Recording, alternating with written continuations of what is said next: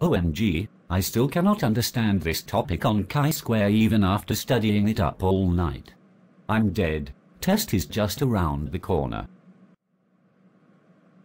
I think I should meet up with my lecturer for her consultation. Next morning in the university. What are you doing here, Amir?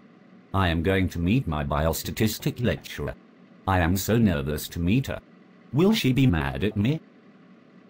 Don't you be worried. She is not gonna eat you. After 10 minutes waiting for Miss Vita. So what bring you here today, young boy? I'm actually having problem with understanding your previous class on chi-square. Let me explain again so that you will understand better.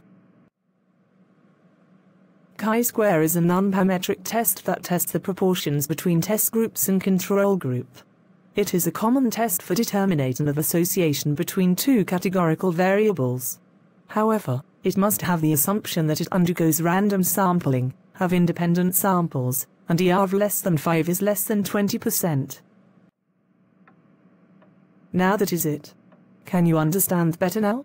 Oh wow, it's that easy. Now I can understand better. But how to determine if the result is rejecting or not rejecting null hypothesis? You just have to know the critical value of your test. You can do this by first determining your degree of freedom. So if you calculated your chi-square and it exceed the critical value, it will reject the null hypothesis. But if it doesn't exceed the critical value, it does not reject the null hypothesis. Ah, that easy, May.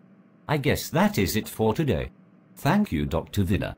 That's cool, Amir. Hope you can make use of whatever you learned here and you're welcome.